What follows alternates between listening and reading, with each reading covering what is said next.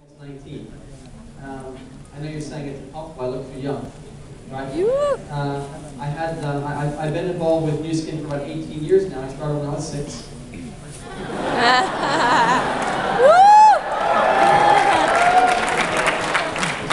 When my, when my middle daughter was about five, maybe six years old, one day I was working on the computer and she came up to me and she started to kind of tug on my jacket. She said, Daddy, how do you make money?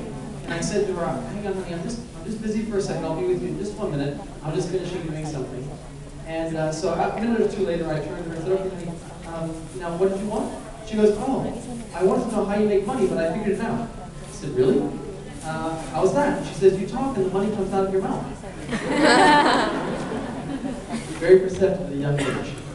Uh, a few years later, my, my youngest daughter, who's 19 now, she uh, said to me one day, Dad, what do you actually do? And I said to her, well, um, I, uh, I, I, I, talk to people. I, I, and she said, people listen to you?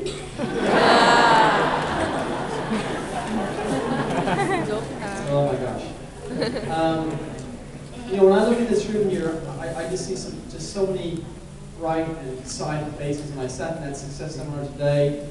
Uh, what an incredible energy. The company did a great job putting that together. Um, you're so lucky to have a management here and leadership here. Um, I, I want to give you a couple of, of hints, I think, for success. And the first thing is going to be around mindset. I, I indicate a little bit, most people spend their life looking at their problems. Is that better? Am I, talk, am I talking loud enough? Yes. Most people spend their life talking, looking at their problems and thinking about their problems. Is it true? Who here has problems? Everybody. I have problems.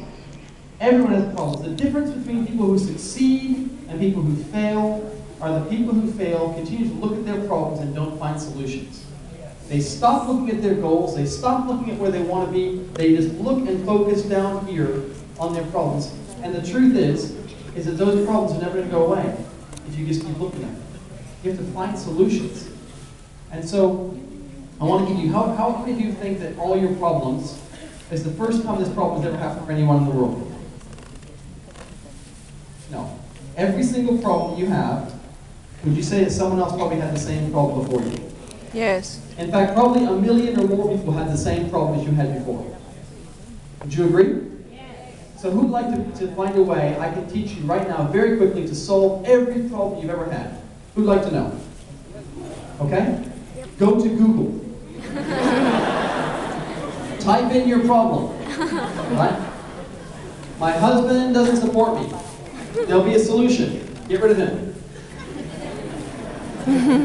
That's a joke. I'll get rid of him, I'm just joking. Try communication, get to counseling, do something else. But every single problem you have, there's a way to overcome it, isn't there? Absolutely. You know, my, my success didn't come easy. I had no money. I had, uh, you know, I had three kids under five years old. We, we, we had a difficult time starting this business. Um, and and we, we lived in a small country with 3 million people and 90 million sheep. The sheep couldn't use the products, so we were, we were limited to a very small. There was no internet, so we couldn't communicate with people around the world. I learned the business by fax. I would fax my question to my upline, they would fax back the answer. That's how I learned the business. But instead of looking at my problems, I started looking at my at solutions. And so I found solutions to my problems, and I kept focused all the time on my goals. And what I want to encourage you to do is stop looking at the problems and start looking at the goals and start looking at the things that are important to you. And your leaders, I'm sure, have taught you this over and over again, maybe from a different voice, maybe today I'll make an impact on some of you. But I promise you, the only thing that'll see you on the front tables here, eating on real plates instead of plastic plates, is for you to change